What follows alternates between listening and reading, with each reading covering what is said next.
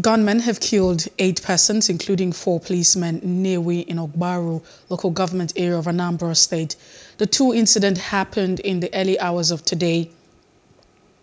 Anambra police spokesman Ikenga Tochukwu said Nnewi incident was an accident involving tricycle operators and another vehicle. He said the incident led to a protest, but nobody was killed. He said the situation had been brought under control by security operatives, explaining that the motorcycle operator was seriously wounded and taken to a hospital in the area. An eyewitness, however, told an eyewitness, however, told the Nnewi incident was not an accident as claimed by the police. He said it was an attack by gunmen who invaded the arena with three vehicles, shot people and left almost immediately. Please do subscribe to our YouTube channel and don't forget to hit the notification button so you get notified about fresh news updates.